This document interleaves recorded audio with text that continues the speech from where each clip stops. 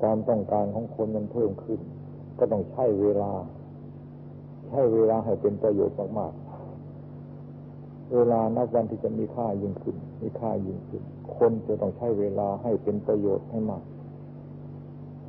ก่อนวันหนึ่งวันหนึ่งนี่ไม่ส่วนมากทิ้งไปเปล่าๆทิ้งไปเปล่าๆเดี๋ยวนี้ทิ้งไม่ได้ มันบีบบังคับ แต่ว่าการงานบีบบังคับก็ไม่ใช่ เหตุการณ์บีบบังคับหรือสิ่งวิดละสิ่งแวดล้อมบีบบังคับ ไม่ใช่การงานบีบบังคับ เหตุการณ์สิ่งแวดล้อม การงานมันไม่เห็นไปบีบบังคับ คนที่ตายให้ไปทำงานได้ท่านท่านถึงคนที่นี่ ตายนั่นยังไม่ทันไทยยังไม่ทันตายเลยก็ทำงานไปแล้วจึงงานไม่บีบบังคับ เหตุการณ์สิ่งแวดล้อมบีบบังคับและนับวันจะบีบบังคับยิ่งขึ้นเพิ่มขึ้น คนจะต้องใช้เวลาให้เป็นประโยชน์มากขึ้น การเดินทางนี่จะต้องใช้เวลารวดเร็วยิ่งขึ้นถ้าไปเครื่องบินนี่จะช้าไป เดี๋ยวนี้ก็มีแหละทำงานเนี่ยไม่ใช่ทำงานอยู่กับบ้านทำงานอยู่กับบ้าน คุยกันอยู่กับบ้าน สั่งการสั่งงานอยู่กับบ้าน ไม่ต้องเดินทางไปไหน นั่งอยู่ที่สั่งตรงนู้นสั่งตรงนู้นสั่งอะไรตัวอะไรได้ถ้าจะเดินทางไปทำงานเดินทางงานงาน เดินทางไปสั่งสั่งงานนั้นไม่ทันเช้าก็ต้องไปแล้วแห่งโอ้ โลก โลกไม่มีแล้วนะ ทางวัตถุจะเริ่มขึ้นมากเท่าไหร่ยิ่ง ยิ่งเป็นอันตรายแก่คนมากเท่านั้น เพราะคนมันแล่นตามวัตถุอ้นะมันก็เป็นการบุญบันทอนสุขภาพ บันทอนสุขภาพ ยิ่งขึ้นมากขึ้น เวลาพักผ่อนเวลาหลับนอนเกิดขึ้นในนี้ที่ตีหนึ่งตีสองก็เลยนอนที่สามที่สี่อย่างที่วียังไม่ได้นอน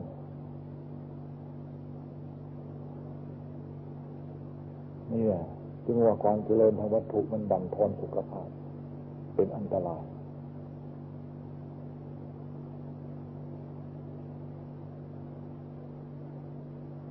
อายุจะยืนสุขภาพจะดี ก็ต้องขึ้นอยู่กับหลักอนามัย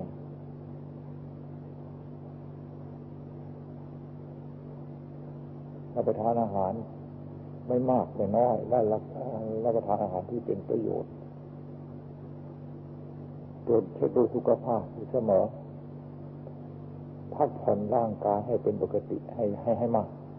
แล้วก็เอาออกกำลังกายให้มากด้วย เดี๋ยวนี้เวลาที่จะออกกำลังกายมันไม่มีแล้วมันไม่มีเวลาไป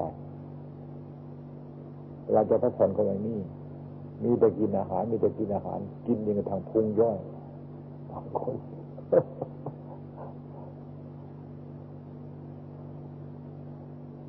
ของความเจริญมันก็ต้องส่งเสริมส่งเสริมสนับสนุนเรื่องการกินอะไรจะเสนออะไรจะอะไรอร่อยอะไรจะอะไรอร่อยก็ไปเรี่ยงกันไปกินกัน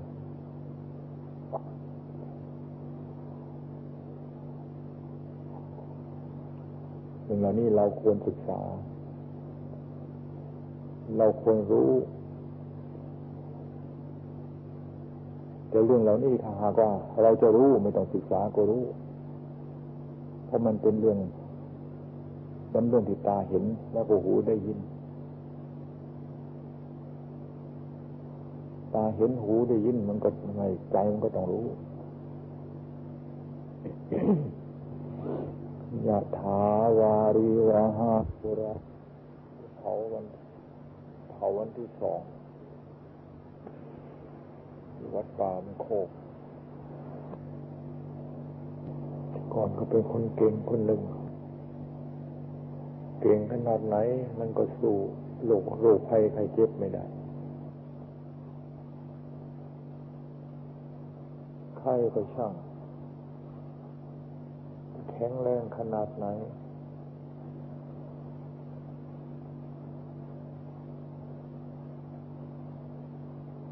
มีเรี่ยวแรงกำลังวังชาขนาดไหน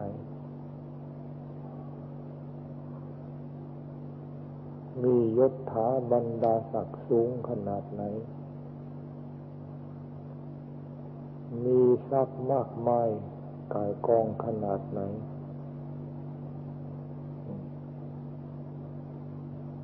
จะเอาของที่มี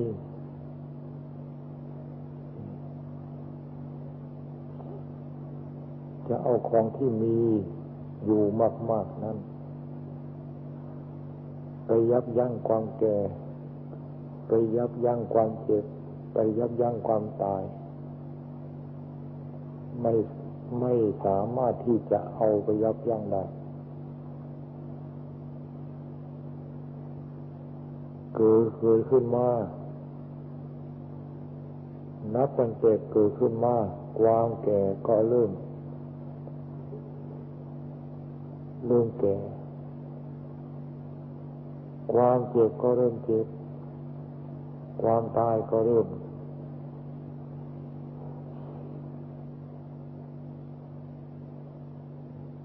จึงว่าไม่มีใครสักสารายที่สามารถที่จะ พ้นจากความแก่ความเจ็บความตายไปได้คำว่าใครใครในที่นี้ หมายถึงร่างกายที่เกิดขึ้น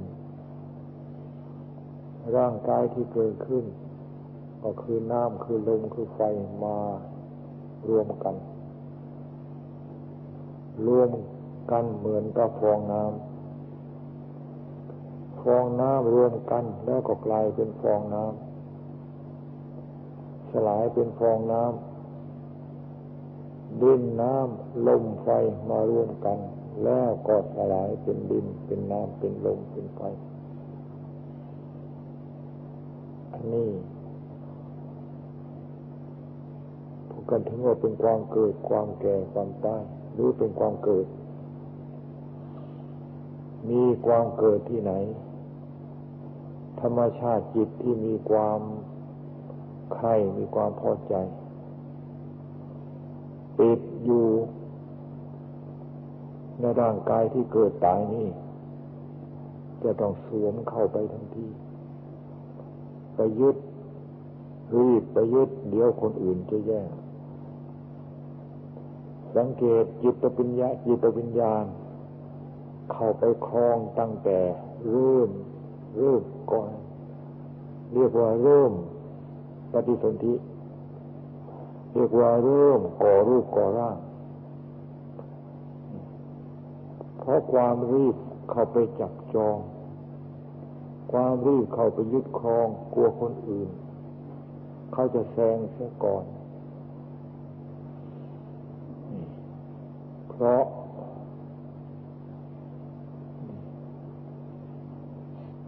จิตที่ ยังไม่ มีที่อยู่ที่อาศัยจิตที่ยังไม่มีร่างมากมาย ท่านอุปมาไว้เหมือนกับกระสอบแค่ข้าวสารในกระสอบ แต่จิตเป็นธรรมชาติที่ละเอียด ตาหยาบหยาบอย่างเราไม่สามารถที่จะมองเห็นได้ ตาละเอียด สามารถจะมองคิดเห็นจิตได้ชัด แล้วจิตนี่มีมากมายใครกอง ไม่ใช่มีเฉพาะครอง ไม่ใช่ครองอยู่ในร่าง ไม่ใช่มีเฉพาะครองอยู่ในร่าง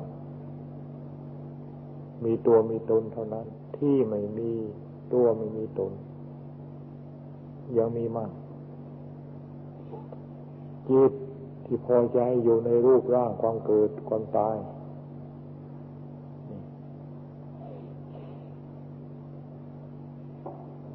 ไปยึดตรงไหนก็ต้องไปยึดไปยึดตรงไหน ก็ต้องไปถูกตรงที่มัน มันจะต้องตาย ไปไปยึดตรงไหน ไปเกาะตรงไหน ก็ไปเกาะตรงที่มันจะตาย เพราะสิ่งที่ เกิดขึ้นมาไม่ตายไม่มีจิตจึงเป็นของไม่ตาย พระพุทธเจ้าท่านจึงสอนให้รักษาจิต สอนให้ปฏิบัติจิต สอนให้อบรม สั่งสมบารมีให้แก่จิตมุนขึ้นมามุนขึ้นา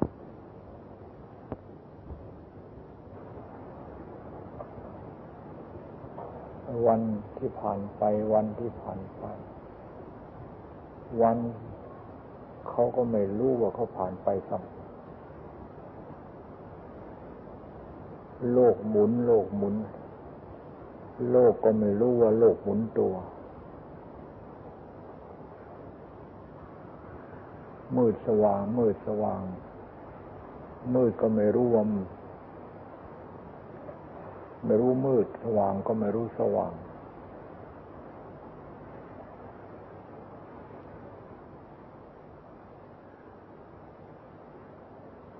คนเกิดมาในโลก สัตว์เกิดในโลก ต้นไม้เกิดมาในโลก ต้นยาเกิดมาในโลก ทุกสิ่งทุกอย่างเกิดมาในโลก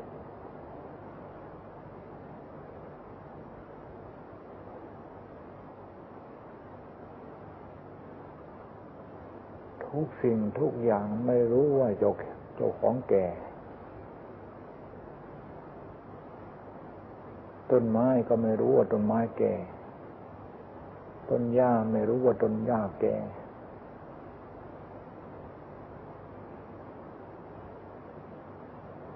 เรียกว่าผมขนเล็บฟันหนัง ของคนของสัตว์ ส่วนไหนก็ไม่รู้ว่าแก่ ไม่รู้ว่าแก่เพิ่มขึ้นทุกวัน ในเมื่อในเมื่อไม่รู้ว่าแก่เพิ่มขึ้นทุกวัน ก็ไม่รู้ว่าใกล้ตายไปทุกวัน แล้วก็ไม่รู้ว่าตายไปทุกวันด้วย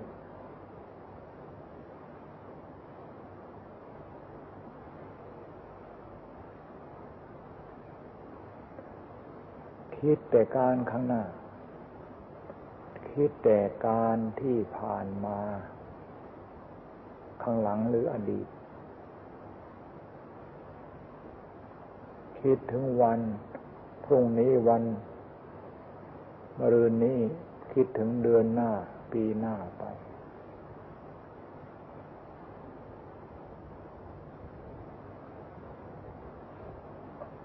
หากว่าจะคิดถึงที่ผ่านมาก็คิดถึงว่าผ่านมาเรื่องนั้น ผ่านมาเรื่องโน้น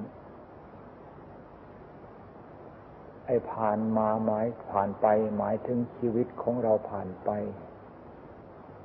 ไม่ใครจะคิดกัน พระพุทธเจ้าท่านจึงให้คิดถึงปัจจุบันให้มาก ๆ ในขณะที่คิดถึงปัจจุบัน สิ่งที่ผ่านมาก็ไม่คิดถึงสิ่งที่ยังไม่ถึงก็ไม่คิดถึง ใจของเราก็มีโอกาสที่จะรู้จักความเสื่อมไปสิ้นไปด้วยความแก่ทุกวันแก่ทุกวันนั่นก็คือการเสื่อมไปทุกวันนั่นเอง การเสื่อมไปทุกวันนั่นก็หมายความว่าตายไปทุกวัน โลกเป็นอย่างนี้เหมือนกันทั้งหมด พระพุทธเจ้าท่านจึงว่า โลกอันนี้ไม่มีใครเป็นเจ้าของ เป็นของโลกมาแต่ไหนแต่เลอใด เป็นของโลกมาแต่เดิมและก็จะเป็นของโลกอย่างนี้อีกต่อไป ใครมาเกี่ยวข้อง ใครมาเกี่ยวข้องประเดี๋ยวก็จากไป ใครมาเกี่ยวข้องประเดี๋ยวก็จากไป คำว่าใครก็หมายถึงจิตแต่ละรายแต่ละราย วิญญาณแต่ละรายแต่ละรายมาเกี่ยวข้องมาเกาะในโลก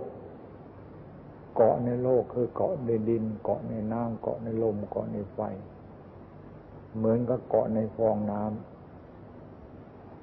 เป็นฟองขึ้นมาเป็นฟองขึ้นมา แล้วก็สลายไป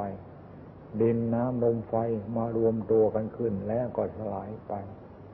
จิตของเราเราท่านท่านมีความพอใจ ก็มาเกาะสิ่งที่พอใจนี้ว่าเป็นตัวเป็นตน ไม่สิ้นสุด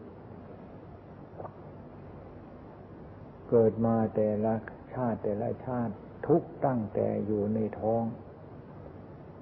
กว่าจะพ้นออกมายังกระเดวกระเดวช่วยตัวเองไม่ได้ กินก็ต้องร้อง หิวก็ต้องร้อง อยากอยากถ่าย อยากอึอยากเบาก็ต้องร้อง เอาความร้องเป็นเครื่องหมายเป็นเครื่องบอก อยากไปเที่ยวก็อยากร้องก็ต้องร้องนี่นอนเหนื่อยนอนเมื่อย ก็ต้องร้อง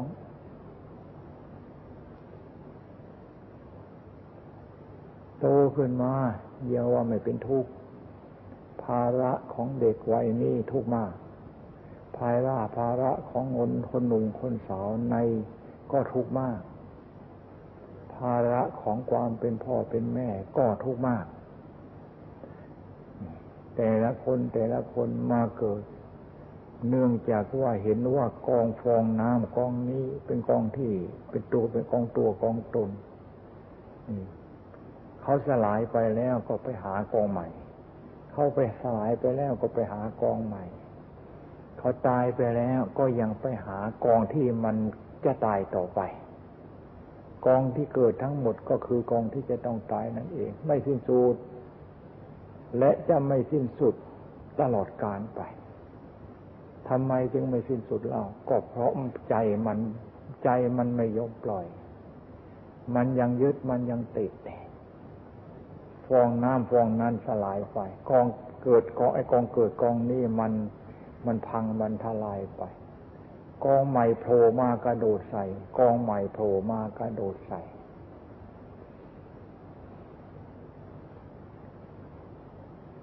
กระโดดใส่กองไหนก็คือกองที่จะต้องแตกต้องพัง กองที่เกิดไม่แตกไม่พัง กองที่เกิดเกิดไม่ตายไม่มี แต่ผู้ที่มีความดีมีบุญมีกุศล บุญกุศลบันดาล บุญกุศลผลักดันนี่ให้ไปตามอำนาจของบุญกุศลนั้นก็เดินไกลกระโดดไปเกาะกองไหนกองนั่นก็เป็นกองที่มีคุณภาพ มีสติปัญญามีความสามารถสามารถที่จะสร้างสรรค์เอาตัวรอด สามารถที่จะสร้างสรรค์เจ้าของให้นั่นหนาแน่นหมามันแน่นหนามั่นคง เพราะกองเกิดกองตายกองนั้นเป็นกองมีคุณภาพ จิตดวงที่จะได้ไปเกาะอันนั้นโกด้วยเป็นเรือนเป็นที่อยู่ที่อาศัย ต้องเป็นจิตที่มีบุญมีวาสนาพระพุทธเจ้าท่านเกิดตรงไหน เกิดที่ไหน แม้แต่ที่จะเกิดในสัตว์ก็เป็นสัตว์ที่ประเสริฐสัตว์ที่วิเศษ เหนือกว่าบรรดาหมู่สัตว์ทั้งหลาย จะเกิดเป็นมนุษย์ก็เป็นมนุษย์ที่มีสติปัญญาเป็นนักปราชญ์เป็นบัณฑิต หรือว่าเป็นกษัตริย์เป็นในเสนาบดี เพราะมีคุณภาพมีสติปัญญาอาศัยจิตวิญญาณนั้น มีบุญมีวาสนา ผลักดันให้ไปเกาะไปเตะไปไปเกาะไปเกิดนี่กองเกิดกองตายที่มีคุณภาพสูง จิตที่เต็มด้วยบาปไอ้ตรงไหนที่มันไม่มีคุณภาพล่ะ มันมีแต่เจอกระโดดไปทางไหนก็มีแต่เจออีกร่างกายที่เกิดมาไม่มีคุณภาพนั่นโง่ก็นาแสนที่จะโง่ ในที่สุดเอาตัวไม่รอดสุดยาขายแคลนนี่ สัตว์หรือว่าบุคคลประเภทนี้ก็มีอยู่มากทำไมจึงมีอยู่มากเล่าก็เพราะคนสร้างความบาสร้างบาปไปมาก คนทุกคนยากคนยากคนจนประเทศชาติจะโลกจะพัฒนาไปสักขนาดไหนเพียงไรก็ช่าง ก็ยังมีคนยากคนจนอยู่นั่นแหละ คนอดคนอยากมีตลอดการก็เพราะคนสร้างความอดความอยากความสร้างความยากความจนจน ความทุกข์ยากความจนมันมีตลอดการยิ่งว่าใครจะว่าบุญไม่มีบาปไม่มี คนนั้นมันคนตาบอดหูหนวกพูดพูดอย่างคนตาบอดหูหนวกเนี่ยบุญมีจริงบาปไม่จริงทำบุญได้บุญจริงทำบาปได้บาปจริงทำดีได้ดีจริงทำชั่วได้ชั่วจริง พระพุทธเจ้าทั้งรู้ทั้งเห็นชัดตามความเป็นจริง แล้วเอาความรู้เห็นชัดตามความเป็นจริงนั้นมาพูดมาตัด คนที่ว่าบุญไม่มีบุญบาปไม่มี อันนั้นมัน คนตาบอดเนี่ยไม่เห็นอะไรมันก็ว่าไม่มีในบรรดาเราเราให้พากันตื่นตัว ให้ยิ่งตื่นตัวให้มาก ชีวิตอันนี้ไม่ไม่หายใจเมื่อไหร่ล่ะ อยากอยู่ต่อไปก็อยู่ ก็อยู่ไม่ได้ไม่หายใจมื่อไหร่หมดมื่อนั้นลมหัวหายใจนี่ ลมหายใจนี่ เราจะรับประกันได้มื่อไหร่อีกอีกยี่สิบปีมันจึงหมด มันอยู่ก็เข้าอยู่ก็ออกอยู่ก็เข้าก็เขาออกนี่ เราไม่สามารถที่ และไม่มีใครสามารถที่จะรับประกันให้ได้ให้ให้ด้วย จะหมอมีความสามารถขนาดไหนก็ช่างเถอะแม้แต่หมอก็ไม่สามารถที่จะรับประกันไอ้หมอตัวหมอเองได้ จึงความไม่ประมาท พระพุทธเจ้าท่านทรงเทศนาเป็นครั้งสุดท้าย เป็นวาระสุดท้ายท่านทั้งหลายอย่าพากันประมาท สังขารคือร่างกายอันนี้ไม่นานดอก มีแต่ผุพังมีแต่ไอผุพัง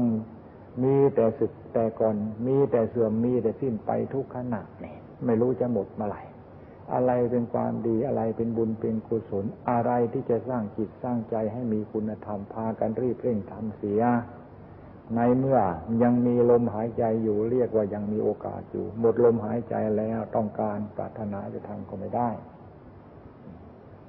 ให้พากันเตือนเราอยู่เตือนเราเองอยู่เสมอธรรมะคำสอนของพระพุทธเจ้านั้นนาแทนองค์พระพุทธเจ้าเราเอาธรรมที่พระพุทธเจ้าทรงเทศนาไว้ชอบมาเตือนเรา เรียกว่าพระพุทธเจ้าทรงมาเตือนเราทรงมาเตือนเราอยู่ แต่หากว่าเราไม่เอาธรรมะมาทำมาคำสอนพระพุทธเจ้ามาเตือน ก็เหมือนกันแล้วพระพุทธเจ้ามาเตือนเราก็ไม่รับฟังพระพุทธเจ้าไม่เป็นประโยชน์พระธรรมพระสงฆ์ไม่เป็นประโยชน์ไม่เป็นประโยชน์แก่เราเลย ทั้งๆทที่พระพุทธเจ้าธรรมชาติเป็นประโยชน์แก่โลกแต่ว่าไม่เป็นประโยชน์แก่เรา เพราะเราไม่สนใจ ที่จะเอาธรรมของพระพุทธเจ้ามาเป็นประโยชน์แก่เรายะถาวาริ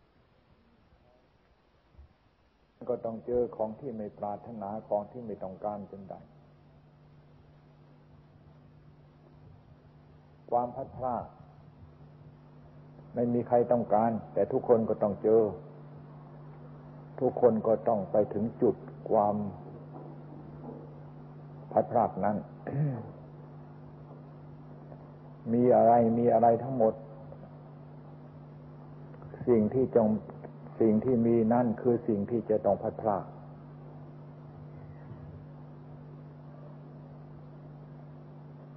มีคุณพ่อมีคุณแม่ มีคุณลูก มีคุณในหลาน คุณปู่คุณย่าคุณยาย คุณอะไรก็ช่าง ที่เราว่าเรามี สิ่งนั้นคือสิ่งที่เราจะต้องพัดพลาด สิ่งที่เราเรารักมากๆ เวลาเกิดความพัดพาขึ้นมา มันก็เกิดความทุกข์มาก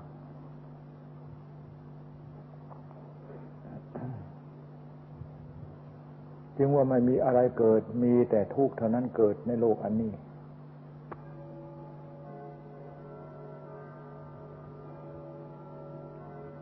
จึงว่าอย่าไปปรารถนาอะไร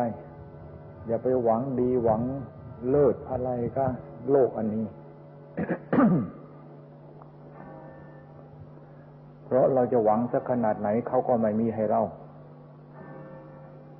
มีบ้านมีช่อง มีข้าวของเงินทอง ถ้าหากว่าจะมีเทวดาผู้ศักดิ์สิทธิ์สักองค์หนึ่ง ให้เราอยู่เฝ้า ไม่ให้เราไปไหน เราก็จะไม่เอา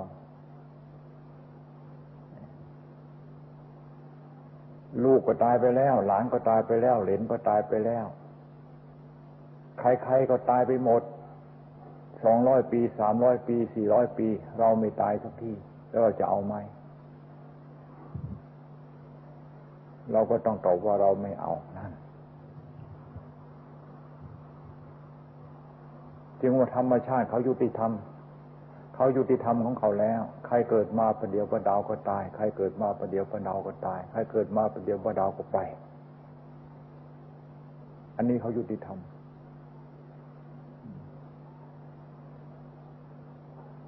ให้ทุกคนมีโอกาส ที่จะได้ศึกษาโลกอันนี้ ในระหว่างที่เกิดมานั่นมีโอกาสที่จะได้ศึกษา โรคอันนี้มีแต่วุ่นวายกันทั้งโลก อยู่ในวัยวัยเด็กก็วุ่นวายอย่างเด็กๆ อยู่ในวัยเด็กโตก็วุ่นวายอย่างเด็กโต อยู่ในวัยเด็กหนุ่มเด็กสาว ก็วุ่นวายวุ่นวายอย่างเด็กหนุ่มเด็กสาว มีครอบครัวมีเย่ามีเรือน มีคู่ครองแล้ว ก็ยากอย่างผู้ที่มีเย่ามีเรือนมีคู่ครองแล้ว ได้ลูกได้หลานขึ้นมา ได้ลูกขึ้นมา นี่ก็ว่ายากลูกโตก็ยาก มันยากทุกขั้นตอน จึงวันในโลกอันนี้เป็นโลกที่มีอะไรต่ออะไรให้คนเกิดมาในโลกนี้ ได้ดึกได้ศึกษามากทีเดียว ถ้าหาว่าคนมีสติปัญญา แต่คนไม่มีสติปัญญาเหมือนกับคนตามืดตาบอด เห็นอะไรก็ไม่รู้ เห็นอะไร ควรรู้ก็ไม่รู้ เห็นอะไรควรรู้ และจะเป็นประโยชน์แก่เจ้าของ ก็ไม่รู้ไม่สนใจ ในที่สุดก็กลายเป็นคน เหมือนก็อยู่ในอยู่ในคุกอยู่ในตาราง ไม่มีโอกาสที่จะปล่อยให้เป็นอิสระคำว่าคุกตารางคือยังไง ก็คือสถานที่เกิดสถานที่ตายนั่นเอง สถานที่เกิดสถานที่ตายก็คือในโลกอันนี้ เกิดก็มาเกิดในโลกอันนี้ ตายก็ตายในโลกอันนี้ เกิดก็มาเกิดในโลกอันนี้ ตายก็ตายในโลกอันนี้ เกิดก็เกิดในโลกอันนี้ ตายก็ตายในโลกอันนี้นี่สถานที่โลกอันนี้เนี่ยเป็นสถานที่เกิดที่ตายของสัตว์โลก แต่กลายเป็นคุกกลายเป็นตาราง กลายเป็นเรือนจำข้อกงขังของสัตว์โลก คำว่าสัตว์โลกหมายถึงจิตวิญญาณแต่ละลายแต่ละลาย มันติดเอาไว้ มันมัดเอาไว้ มันผูกเอาไว้ อะไรมันผูกอะไร อะไรมันมัด นี่ ความใคร่ความปรารถนา ความพอใจความต้องการกิเลสตัณหามันผูกเอาไว้ผูกให้ติดอยู่กับกองเกิดผูกให้ติดอยู่กับกองแก่กองตายผูกให้อยู่ให้ติดอยู่กับกองดินกองน้ำกองลมกองไฟ ผูกอยู่ให้ติดก็อยู่ก็กองเกิดแล้วก็สลายไปเท่านี้ในเมื่อมันผูกแล้วนี่ใครว่ามาเขาว่ามันผูกคืออะไร คือตุกเรตันหามันผูกไงมันผูกไว้กับกองดินกองน้ำกองลมกองไฟ กองโลกกองเกิดกองตายกองเกิดกองตายดินดินน้ำลมไฟอันนี้มันสลายไปตามกฎอนิจจัง ดินน้ำลมไฟกองไหนมันโผล่ขึ้นมา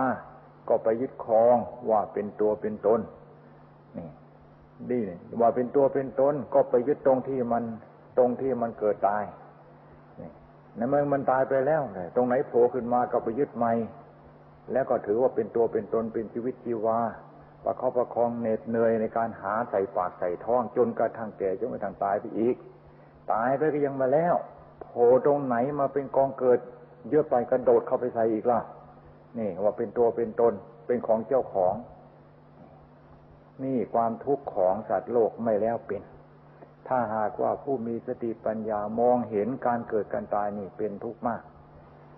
โลกอันนี้นี่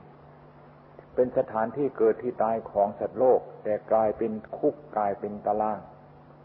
กลายเป็นเรือนจำข้อกงขังของสัตว์โลก คำว่าสัตว์โลกหมายถึงจิตวิญญาณแต่ละลายแต่ละลาย มันติดเอาไว้ มันมัดเอาไว้ มันผูกเอาไว้ อะไรมันผูกอะไร อะไรมันมัด นี่ ความใคร่ความปรารถนา ความพอใจความต้องการกิเลสตัณหามันผูกเอาไว้ ผูกให้ติดอยู่กับกองเกิด ผูกให้ติดอยู่กับกองแก่กองตายผูผูกก็อยู่ให้ติดอยู่กับกองดินกองน้ำกองลมกองไฟ ผูกอยู่ให้ติดก็อยู่กับกองเกิดแล้วก็สลายไปเท่านี้ในเมื่อมันผูกแล้วนี่ใครว่ามาคำว่ามันผูกคืออะไร คือตุกเรตันหามันผูกเลยมันผูกไว้กับกองดินกองน้ำกองลมกองไฟ กองโลก กองเกิดกองตายกองเกิดกองตายดินดินน้ำลมไฟอันนี้มันสลายไปตามกฎอนิจจัง ดินน้ำลมไฟกองไหนมันโผล่ขึ้นมา ก็ไปยึดครองว่าเป็นตัวเป็นตนนี่ดีว่าเป็นตัวเป็นตนก็ไปยึดตรงที่มันตรงที่มันเกิดตายนี่ในเมื่อมันตายไปแล้วตรงไหนโผล่ขึ้นมาก็ไปยึดใหม่แล้วก็ถือว่าเป็นตัวเป็นตนเป็นชีวิตชีวาประคับประคองเหน็ดเหนื่อยในการหาใส่ปากใส่ท้อง จนกระทั่งแก่จนกระทั่งตายไปอีก ตายไปก็ยังมาแล้วโผล่ตรงไหนมาเป็นกองเกิด เยอะไปกระโดดเข้าไปใส่อีกล่ะ นี่ว่าเป็นตัวเป็นตน เป็นของเจ้าของ นี่ความทุกข์ของสัตว์โลกไม่แล้วเป็น ถ้าหากว่าผู้มีสติปัญญามองเห็นการเกิดการตายนี่เป็นทุกข์มาก ผู้ที่ไม่มีสติปัญญานั้น มันก็เหมือนกับคนตาบอดของในโลกเต็มโลก แต่คนตาบอดไม่เห็นของในโลกอันที่เกิดมาในโลกอันนี้ เต็มไปด้วยกองทุกข์แต่คนไม่มีสติปัญญามองไม่เห็นนี่มันจะเห็นได้ยังไง ความโลภความโกรธความหลงกิเลสตัณหาอาสวะมันปิดไว้มันมืด หมดในจิตในใจไม่มีแสงสว่างที่จะส่องให้เห็นสัจธรรมของจริงได้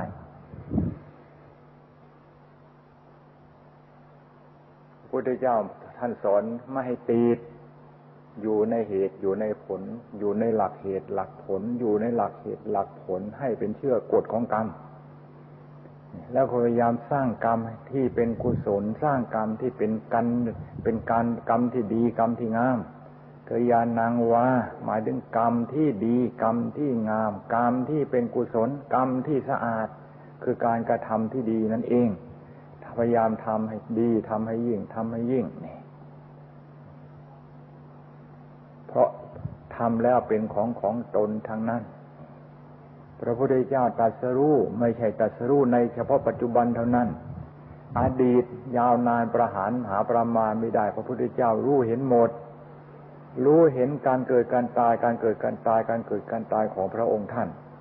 แล้วก็รู้เกิดเป็นขณะเกิดนั้นเกิดจากที่ไหน รูปร่างหน้าตาสมมุติกันว่าเป็นสัตว์ชนิดใด ๆ สัตว์ชนิดใด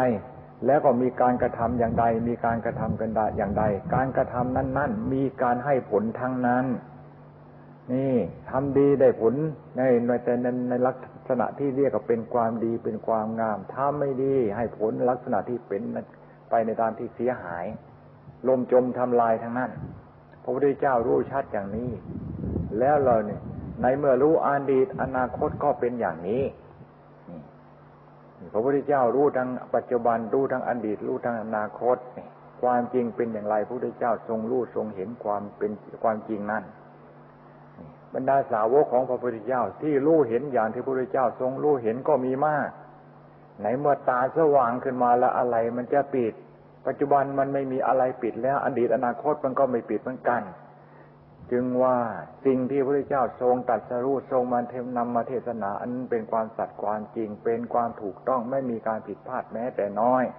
ให้พากันยอมรับ ยอมรับพระพุทธเจ้าผู้ตัดสรู้สัจธรรมของจริงดีกว่ายอมเชื่อใจของเราที่ลุ่มหลงมัวเมาฟองน้ำเป็นอย่างไร คนในโลกเกิดมาก็เป็นอย่างนั้น ฟองน้ำเป็นฟองน้ำเพราะเอาอาศัยเกิดเอาอาศัยฟองน้ำมาเกิดเป็นฟอง แล้วทีนี้เคยเห็นในเวลาสลายไปก็สลายเป็นน้ำเหมือนเดิม คนเราเกิดมามีดินมีน้ำมีลมมีไฟมากลัวเกิดเป็นรูปเป็นร่างเวลาสลายไปก็เป็นดินเป็นน้ำเป็นลมเป็นไฟ มันจะต่างอะไรกันนี่พระสาวกบางองค์สมัยก่อนท่านได้เห็นฟองน้ำท่านก็ได้สำเร็จมรรคผล ที่ท่านได้เห็นฟองน้ำนั้นก็เนื่องจากว่าไปฟังเทศพระพุทธเจ้า แต่ทีนี้ฝนตกข้างบนไม่สะดวกในการที่เข้าไปภายในไม่สะดวกในการที่จะเข้าไปก็ฟังอยู่ในบริเวณรอบนอกนี่เห็นฟองน้ำเห็นฟองน้ำนี่ นี่ เป็นฟองแล้วสลายไป เห็นผมเป็นฟองแล้วก็สลายไป พระพุทธเจ้าเทศนาประกาศอริยสัจธรรมสัจธรรมของจริงพระพุทธเจ้าประกาศนี่ มันตรงอยู่กับฟองน้ำนั้น เห็นฟองน้ำก็ได้สำเร็จมรรคผลนี่นี่จริงว่าสัจธรรมที่เป็นธรรมเทศนาของจริงมีอยู่เต็มโลก นี่ใบไม้เป็นใบไม้ ใบไม้ก็หล่นต้นไม้เป็นต้นไม้ขึ้นมาต้นไม้จะโตใหญ่ขึ้นนาขึ้นนาขนาดไหน ต้นไม้นั่นก็ตายนี่ ใบไม้จะใบงามใบไอ้ดกขนาดไหน ใบไม้ที่งามที่ดกนั้นนั้นก็ต้องล่วงต้องหล่นทั้งนั้นในเมื่อปรากฏเป็นใบขึ้นมา อะไรอีกเล่าในโลกทั้งหมดไม่มีสักอย่างที่ปรากฏเป็นรูปเป็นร่างเป็นหน้าเป็นตา เป็นวัตถุขึ้นมาจะต้องสลายทั้งนั้น แล้วอะไรก็ร่างกายของเรานี่ มันประกอบด้วยของที่หาที่จะจุดที่แน่นหนามันคงไม่มีแล้วมันจะไปแน่นหนามันคงได้อย่างไร ยกยกตัวอย่างง่าย ๆ ลมหายใจมันหยุดทันทีแล้ว ไอ้อะไรตรงไหน มันจะเป็นคนอันตรงไหนมันจะเป็นตัวเป็นเรา ชั่วขณะไม่ถึงขั้นไม่ใช่ต้องชั่วโมงสองชั่วโมงละขณะสักสิบนาทีเท่านั้นละแล้วร่างกายของเรามันเป็นยังไงอย่างไร เป็นดินเป็นน้ำเป็นลมเป็นไฟนั่น มันเป็นเป็นดินเป็นน้ำเป็นลมเป็นไฟก็เพราะเอาดินมาเป็นน้ำลมไฟมาเป็น มันก็เป็นดินเป็นน้ำเป็นลมเป็นไฟนี่เหมือนกับฟองน้ำเอาน้ำมาเป็นก็เป็นน้ำเหมือนเดิม จึงว่า ในโลกอันนี้ไม่มีอะไรดอก อย่าไปตื่นเต้นในโลกอันนี้จนเกินไป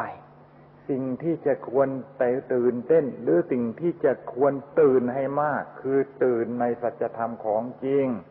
ล้วนแล้วแต่เป็นประโยชน์ทางนั้นคำว่าบุญกุศลทำแล้วไม่เสียหาย บุญกุศลทำแล้วไม่เสียหาย ความดีทำแล้วเป็นของของเราทางนั้น อย่างในโลกอันนี้คนในโลกเกิดมายิ่งหย่อนกว่ากันคนในโลกเกิดมาไม่เสมอกัน ไม่เสมอกัน เพราะอะไรสติปัญญาก็ไม่เสมอกัน อายุก็ไม่เสมอกันดุสีสันวันนะก็ไม่เสมอกัน แม้แต่ทรัพย์สินเงินทองก็ไม่เสมอกันนี่ อันนี้เป็นผลของบุญผลของกุศลผลของการกระทำที่ทำมายิ่งหย่อนกว่ากันทั้งนั้น แล้วจะไปปฏิเสธของจริงเหล่านี้ได้อย่างไร ในเมื่อของของจริงเรารู้เราเห็นอย่างนี้แล้ว ให้พากันพยายามให้ยิ่งทำแล้วเป็นสมบัติของเราทั้งนั้นบุญกุศลทำแล้วเป็นสมบัติของเราความดีแล้วทำเป็นสมบัติของเราความไม่ดีอย่าไปสนใจ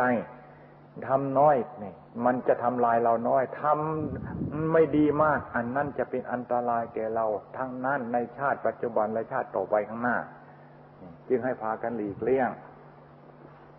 โลกเขาว่าจะดี โลกเขาว่าจะดีสักขนาดไหนก็ช่างเธอนี่แต่หากว่าเราได้มาเพราะความไม่ดี อันนั้นเป็นเรื่องอย่าไปปรารถนา